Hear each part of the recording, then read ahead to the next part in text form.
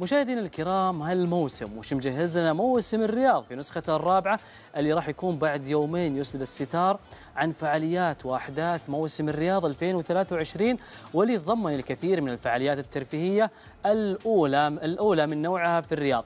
راح يبدأ موسم الرياض باستقبال الزوار في الثامن والعشرين من هالشهر وبيكون فيه افتتاح متحف اللاعب البرتغالي كريستيانو رونالدو.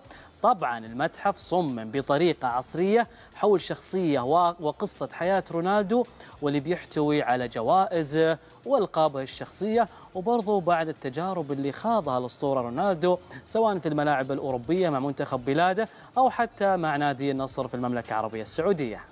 جميل نادر هذا للشباب. طبعا وكمان في يوم 29 يناير بيتم افتتاح عالم باربي بشكل جديد لإحياء تاريخ العلامة التجارية الشهيرة وتوفير المتعة والترفيه لمحبي باربي من جميع الأعمار. وترى فيه تجارب وعروض تفاعلية ممتعة للأطفال وكمان للكبار. عادي إحنا نروح. أكيد. كويس يعني مسموح لنا. جميل جدا ريم. أكيد بيكون في 2 نوفمبر اللي بيتم فيه افتتاح البوليفارد وورلد. اللي بيوفر مطاعم ومقاهي جديدة ومنطقة للعروض الفنية والموسيقية وصالة ألعاب داخلية.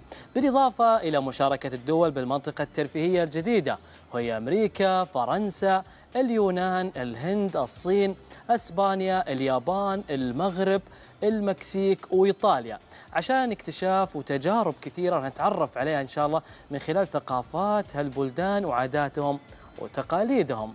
يعني كذا إحنا مو بس حنكون موجودين في موسم الرياض إحنا حنلف حول العالم وحنتعرف على ثقافات دول مختلفة آه، سواء كان من ناحية ال ال ثقافة الدولة نفسها صحيح. الأكل كلها يا نادر مجموعة في كمان مكان واحد. أكيد كلها أكيد في مكان واحد في البوليفارد وورلد كمان حيكون في افتتاح آه، لحديقة الحيوان في يوم 12 نوفمبر الحديقة تتكون من ست محميات ويتوفر فيها أكثر من 1300 حيوان وبعدها بيوم راح يتم افتتاح وندر جاردن في يوم 13 نوفمبر وهي مدينة ملاهي متنقلة وتعتبر أكبر مدينة ملاهي متنقلة وترى تم تصميمها عشان تناسب الأطفال وكمان العائلات والكبار. صراحة أنا هذه من أكثر الفعاليات اللي جدا متحمسة لها. أهم شيء ركزي على الكلمة الأخيرة بالنسبة لنا الكبار. أكيد. يعني ال- لنا إحنا. الملاهي والألعاب للكل يا نادر. بالضبط أكيد ريم إحنا نتذكر أيام الوينتر ويندرلاند بالموسم الماضي. كبار صغار أطفال عوائل استمتعنا في هالألعاب اللي أكيد إنها مميزة وفريدة من نوعها مثل ما عودنا موسم الرياض. أكيد ريم راح يكون أيضا عندنا افتتاح ديزني لاند يوم 22 نوفمبر إذ تستضيف المملكة قلعة ديزني لاند الساحرة للمرة الأولى في الشرق الأوسط في منطقة بوليفارد رياض سيتي. وذلك للاحتفال بالذكرى المئوية لتأسيسها وراح تقدم عروض مذهلة مستوحاة من أشهر أفلام ديزني. أنا قبل شوية قلت وندر جاردن راح يكون مكاني المفضل. دحين غيرت رأيي. يا لا. خلاص نثبت. يعني كل مرة صراحة بنشوف آه، شيء جديد في موسم الرياض. كمان راح يكون في افتتاح لمنطقة المربع يوم 23 نوفمبر.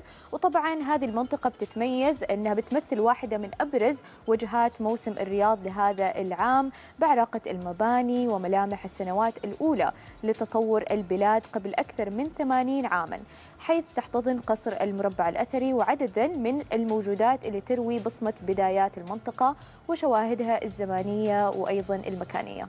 الجميل بالموضوع ريم اللي بيروح منطقة المربع راح يستمتع بالحداثة ويستمتع بالماضي. التاريخ موجود والحاضر موجود والمستقبل برضه نشوفه مستوحى بإذن الله. فأنا أعتقد هالمنطقة هذه وعلى فكرة هي بتكون مستمرة على طوال الموسم. طوال السنة بتكون موجودة وفاتحة اللي بيستمتع فيها. فأكيد يا جماعة الخير راح يتم أيضا افتتاح سوق الأولين في الأول من ديسمبر. هالسوق يهدف أنه يكون موسم الرياض هالسنة خير ناقل لشكل حضارتنا وثقافتنا لذلك صمم السوق بنكهة عربية خاصة في كل تفاصيله عشان يعطيكم جو السفر عبر الزمن والتعرف على أيام أجدادنا. زي ما قلت نادر إحنا فعلا حنسافر عبر الزمن وحنسافر حول العالم حنروح للماضي حنروح للمستقبل كمان بكل الفعاليات اللي موجودة في موسم الرياض. وما شاء الله يعني بمجرد الحديث عن موسم الرياض يا نادر يعني تعبت وأنا أتكلم عن الفعاليات الموجودة لأنه الفعاليات ما. تخلص. يبي لك كلمة خبر موية وتريحين شوي لأن الأخبار طويلة عن موسم الرياض. أكيد كمان لكل عشاق السيارات ومحبيها بيتم افتتاح معرض السيارات ويستعرض المعرض السيارات المميزة والرياضية إلى جانب أندر السيارات الكلاسيكية أكيد لكل محبي السيارات الكلاسيكية. وكمان يشمل المعرض أيضا منطقة لكبار الشخصيات وقسم خاص بالسيارات الحصرية والفريدة من نوعها في العالم. وفيها بعد منطقة مزاد للسيارات التابعة لصالة كبار الشخصيات بالإضافة لساحة خارجية للمطاعم والمقاهي. يعني ما شاء الله. كل فعالية بتكون آه، كاملة فيها كل شيء. الجميل إنه هالموسم راح يلبي رغبة الجميع. عشاق السيارات. يعني إحنا كثير عندنا شباب يحبون السيارات تعديل السيارات والسيارات القديمة الكلاسيك الأولد. وبرضو الآن البنات تدخلوا على الخط يا جماعة الخير. أكيد. صرتوا من من زمان السيارات. دخلنا على الخط يا نادر. صاروا ينافسونا. بنشوفهم كثير أتوقع في المكان اللي راح يعجبهم أكيد. ومن السيارات إلى أجواء الفاشن والموضة. في يوم 17 ديسمبر يا ريم راح يتم افتتاح معرض أنا عربية. واللي يستعرض قطع ترجع لأكثر من 200 مصمم من أنحاء العالم العربي. والحلو إن المصممات وسيدات الأعمال يقدرون يسوقون منتجاتهم ويشاركونها في المعرض. صراحة كل الفعاليات جميلة سواء بنتكلم عن ال fashion عن ديزني عن باربي عن بوليفارد وورلد وكمان موسم الرياض راح ياخذنا في يوم 21 ديسمبر إلى عربات الأطعمة المتنقلة أو ال food trucks من خلال مهرجان food truck واللي يعتبر واحد من أبرز الفعاليات الممتعة أكيد. وهذا المهرجان يستضيف أكثر من 100 عربة طعام عالمية معروفة باسم Global Food Trucks Park حيث تأتي هذه العربات من عواصم ومدن متنوعة حول العالم مثل نيويورك ولندن وطوكيو وغيرها. يعني حنشوف مختلف أنواع الأطعمة من كل مكان. الحمد لله. السالفة فيها طعام فيها أكل يا جماعة الخير. يعني بدل ما نروح نجرب الأكلة الفلانية بالبلد الفلاني الآن صارت موجودة عندنا. بالضبط. يعني أهم شيء أروح وأنا مجوع نفسي لأن أنا دايم صراحة ريم. إذا بروح أسوي بحث راح في أكل رحت من الأساس يا نادر. بجوع نفسي. عموما ريم أكيد إنه ال food trucks اللي نتكلم عنها وأكيد ان حنشوف برضو يعني food trucks من من الشباب السعوديين. أكيد. وإحنا عارفين إنهم قاعدين يبدعون في هالشيء هذا قاعدين نشوفهم في كل موسم في كل مكان. وأكيد موسم الرياض هو حاضن بالبداية للشاب والشابة السعوديين يدعمهم ويطلعهم للناس وبرضه يصقل مواهبهم ويساعدهم وقاعدين نشوف هالشيء هذا في المواسم القادمة.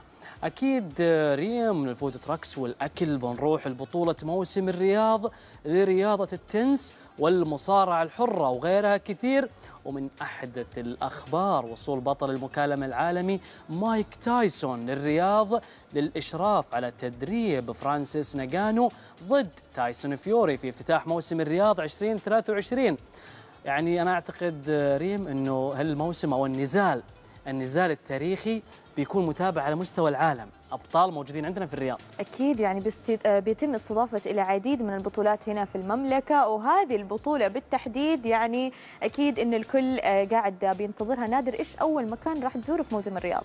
والله أنا أول شيء أفضل إني أزور صراحة النزال التاريخي لأني بشوف حلو. أبطال العالم موجودين تتكلمين عن بطل الوزن الثقيل وتتكلمين عن أيضا بطل العالم السابق فأنا أعتقد إنه الجميع بيستمتع فيها وخصوصا نتكلم عن ال- البطولة راح تجمع نادي الهلال والنصر وأيضا فريق عالمي راح يكون متواجد في الرياض والجمهور راح يستمتع. فأنا أعتقد ريم من موسم الرياض هالسنة محير. صراحة موسم الرياض كل سنة بنشوفه أفضل من السنة اللي قبله وفعلا يعني ما بنتوقع كمية الفعاليات اللي بتكون آه، موجودة في موسم الرياض بمختلف الأماكن مختلف الفعاليات أكيد بمختلف الأعمار كمان يعني كلنا حنستمتع وما شاء الله يعني الموسم طويل فأكيد أننا بنلحق يا نادر. أكيد ريم قالها أبو ناصر بيج تايم فأكيد موسم الرياض هالسنه هذه بيكون مختلف والجميع يترقب من جميع أنحاء العالم علشان يشوفون الإبداع اللي قاعدين نصنعه إحنا في المملكة من ترفيه ووسائل أخرى واللي ان شاء الله راح نبهر العالم فيها ونستمر في إبهارهم.